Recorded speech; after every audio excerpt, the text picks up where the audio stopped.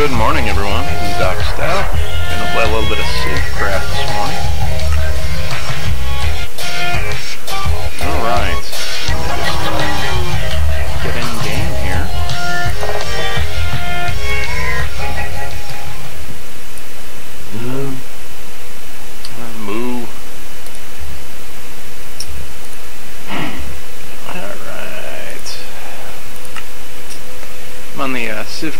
Server here. Logging in for the morning to check out my crops. Feed some cows, maybe. Uh, the server has a lot of mods on it to make things a little bit more realistic to try and force people to work together, build civilizations, etc. I, of course, have decided to ignore most of that and lone wolf for the moment, as I do. I don't have the laptop out for uh, chat today, so if anybody's in chat, my apologies. I'm not ignoring you, I just can't see the chat.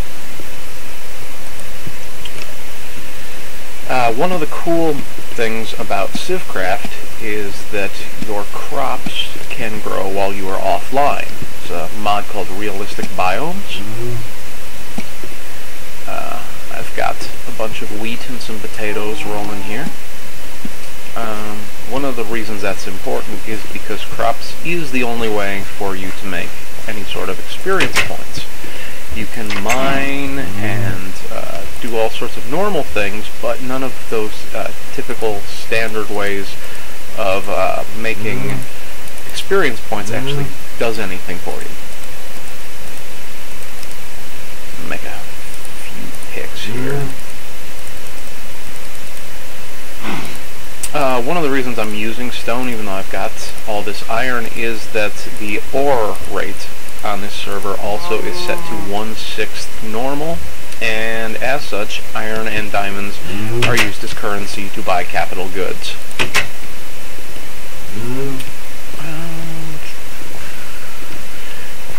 On the Realistic Biomes mod, uh, it takes about 12 hours real time for wheat or potatoes to grow here in the Taiga Hills.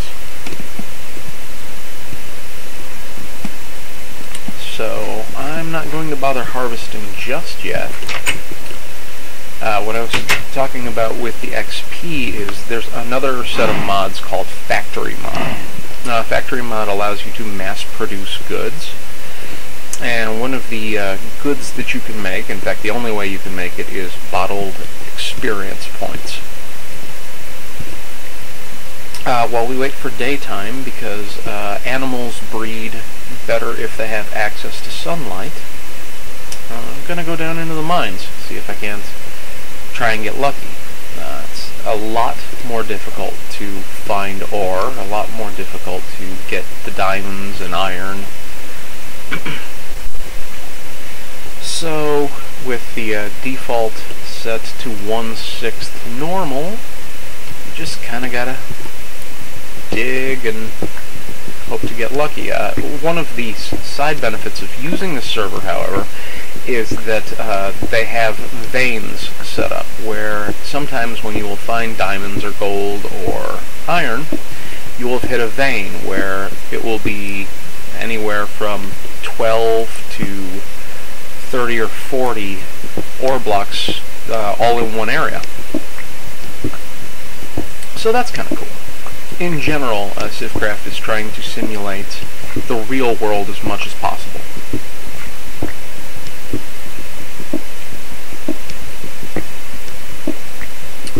I also have to be a little careful down here because there are a lot of mine shafts locally.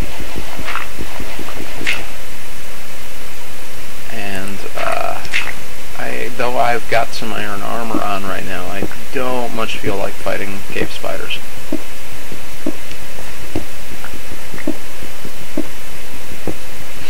I always become a little paranoid when walking over gravel that the blocks will update and it'll dump me into lava. Uh, one of the other things about this map is that it is pretty huge. I want to say it's 15,000 blocks square. And uh, they allow you to build your own cities. Um, one of the ways that uh, you can protect your cities from griefers is a, another plugin they use called Citadel. Uh, Citadel allows you to reinforce the various blocks with uh, either uh, iron or diamond to make it require multiple breaks to actually take those blocks out. Uh, dedicated griefers will just sit there and hammer on the blocks. Oh boy, uh, looks like I found some cave spiders after all. Let's just choose a different direction. Um, it also allows you to secure your valuables in, say, uh, obsidian. You can put uh, obsidian around a chest and reinforce every piece of obsidian with diamond.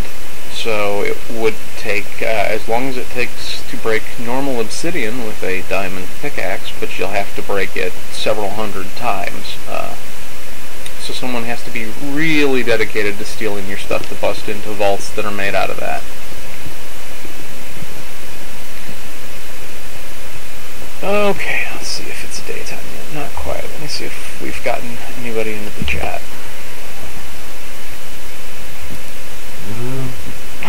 Nope, just me. That's alright. We will be uh, recording this for posterity. I like streaming Mojang games. Uh, I'm thinking of getting into streaming some scrolls maybe later this week. Um, also a big fan of the Paradox games, so I'm look forward to seeing some Crusader Kings 2 on this stream.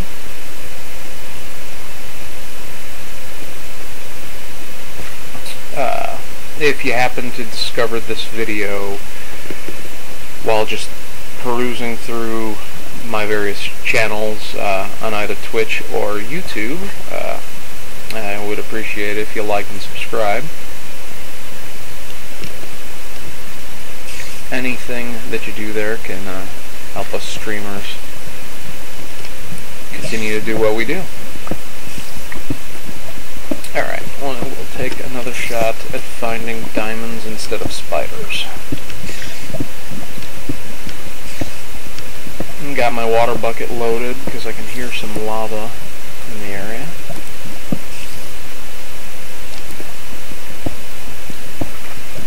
I think I finally got the uh, levels where I want them, so my voice is uh, not drowning out the game sound or vice versa.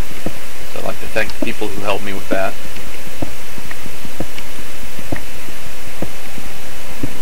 So far, nothing.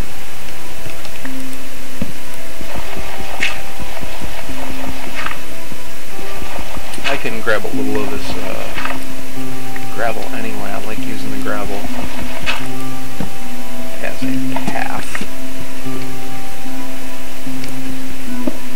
not sure I'm in a permanent settlement, but I've been thinking of joining some friends over in Bay City.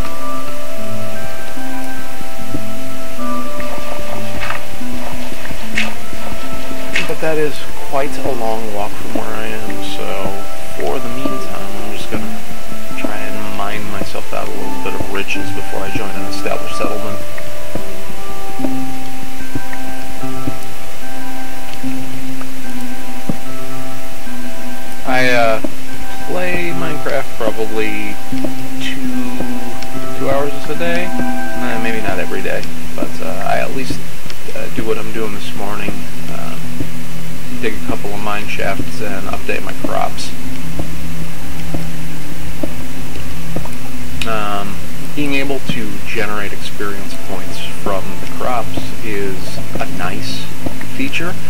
Does require, I want to say, 20 stacks of wheat.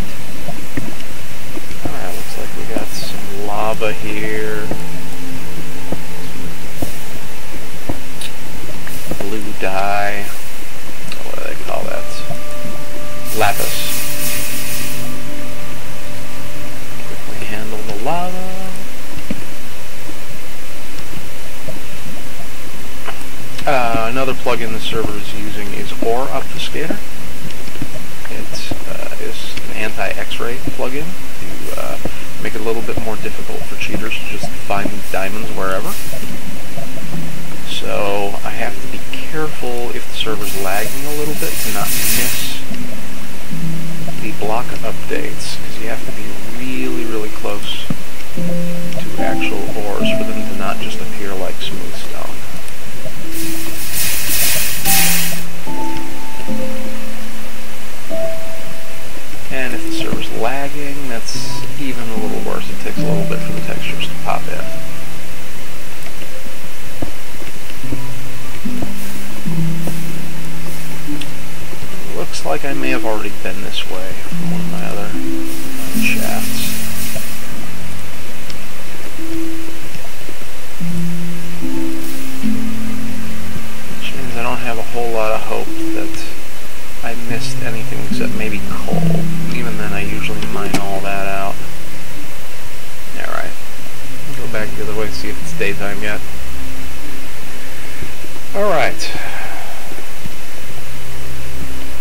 Uh, one of the other things that makes Civcraft unique and special is that there are no rules besides don't cheat or hack.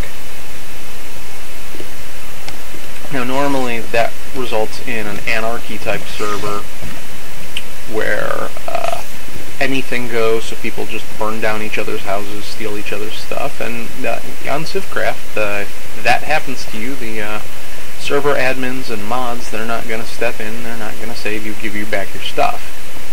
Uh, instead, they've given people tools to make their own laws and enforce them.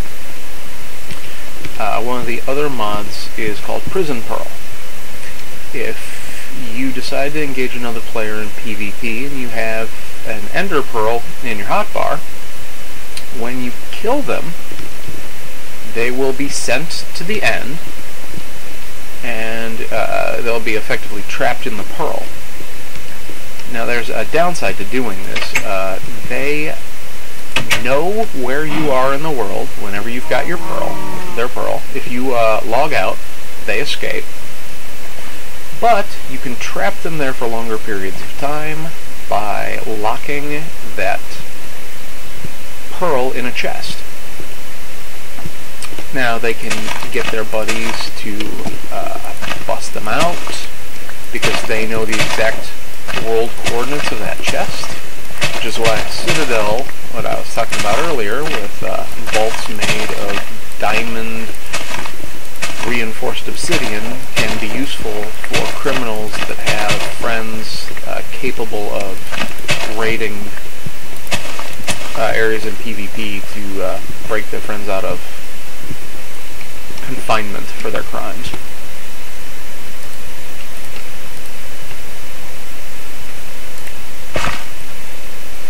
So that means you can have various civilizations created across the land that all have their own laws and have the ability to enforce those laws without the moderators needing to get involved.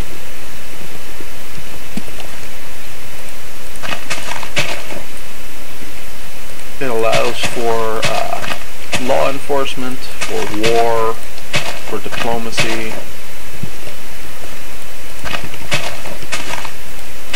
And if you've ever been on a subreddit for Civcraft, you'll know it also allows for a ton of drama. I Almost got my fields replanted. There is one more thing I have to do. There's a bit of glitchiness right now with the realistic biomes mod that it has a hard time determining when you planted crops unless you right click on them with a stick to make sure they get a database entry all nice and proper. So we are going to do that little database update check for every one of these and you can see that it's showing uh, how many hours each of these crops has until they mature and become wheat. These ones I planted first are showing 11.98 hours to maturity.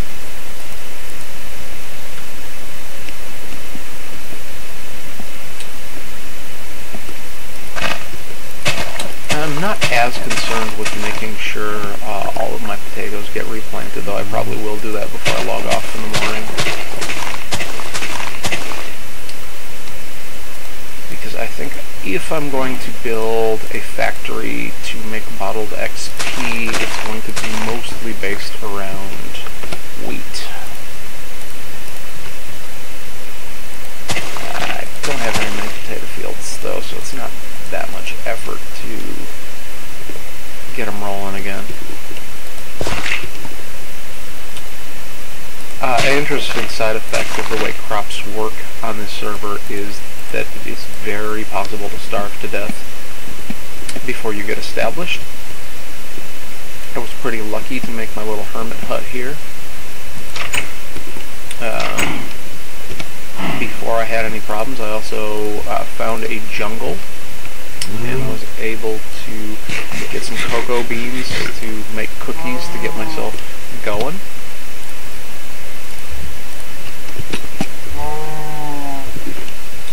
Uh, we have clear skies, should be mm-hmm. optimal animal breeding conditions. It's not a 100% chance of them mm-hmm. breeding, but mm, man, that is the downside to realistic biomes. Mm-hmm. There is a chance that the cows will not make babies. I think their breed rate is nearly 100% if you're in the plains, but as we're here in the frozen north, those cows are not 100%. Alrighty. Okay. Go back to game. Now that we've got our crops planted. And I'm starting to get to the point where I can start to think about maybe doing a little bit of organizing and making a factory. This has been about three, four days work. Uh, I haven't been checking religiously every 12 hours, which is optimal for crops but I play about once a day. Uh, good enough to start start things rolling. Alright, back to the salt mines.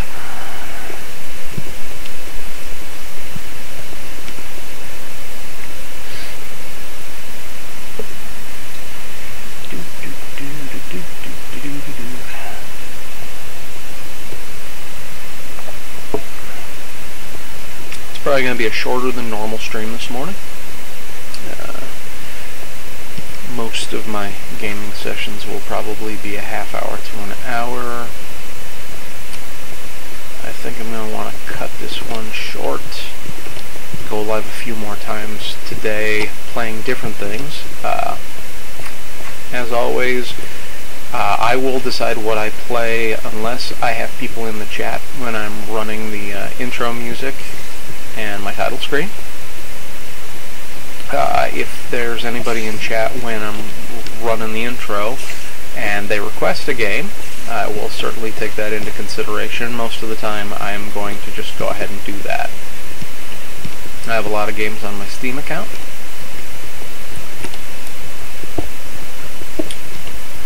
And you can take a look there. Just do a search for Doc Stout you will uh, see I am the one with the icon of the Joker on Steam. And you can see the games that I've got there as possibilities for play.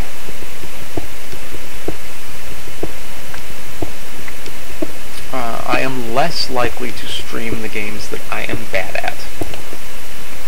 Doesn't mean I won't occasionally show people how hilariously bad I am at like, Team Fortress. We got a little bit of nether quartz down here. Or other first-person shooters, but I'm more likely going to be doing strategy or puzzle games, adventure games, RPGs, and the like. You are unlikely to see me streaming any sports games unless we're talking about Blood Bowl. Nothing against sports, I just don't really do a whole lot of sports gaming.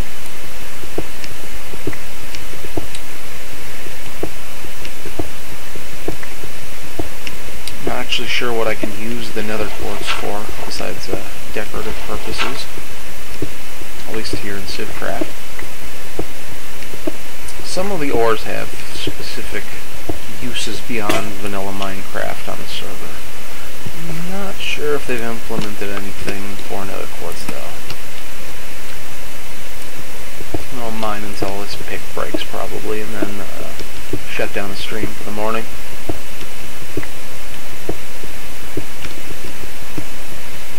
Uh, coal, while on uh, completely vanilla Minecraft, I would frequently uh, just leave. There are some reasons to prioritize mining every little bit of coal that you see, uh, even though you don't get experience for it, which might be the vanilla reason to mine every bit of coal you see.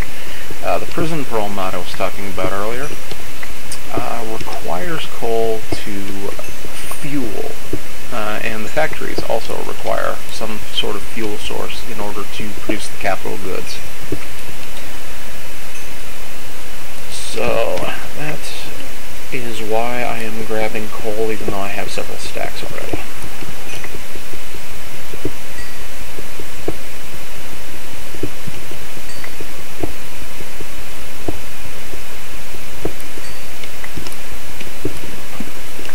in addition to my video game podcasting, tune in. Uh, I also do uh, live drafting on Magic Online, or MODO, as the kids call it these days.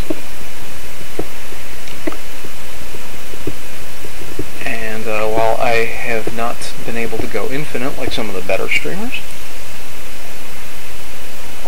I'm usually able to keep it to a slow bleed but I'm not going to do that as often as I do some of the other games because I do have to kind of pay to play unless I get a nice little lucky streak.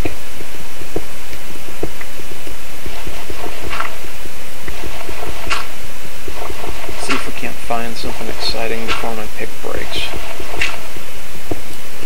Oh, that nether quartz. It's not something I see every day.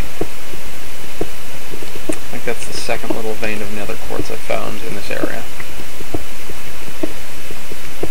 And uh, stuff that's normally found in the Nether is a little bit more rare in Civcraft, uh, mainly because they have shut down the Nether as a means of travel.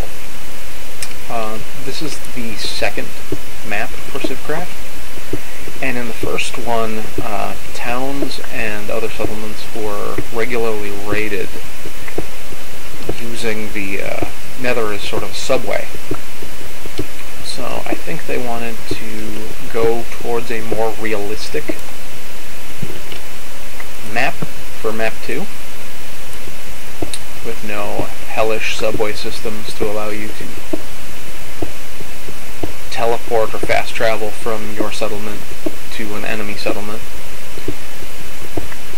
Have to walk to enemy bases the old-fashioned way. doesn't look like we're going to find anything cool. Before this pick breaks, anyway. Alright, uh, do some light bookkeeping. But uh, before that, I'm going to go ahead and shut down the stream real briefly here.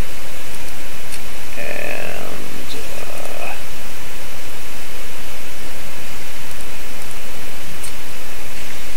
thanks for tuning in.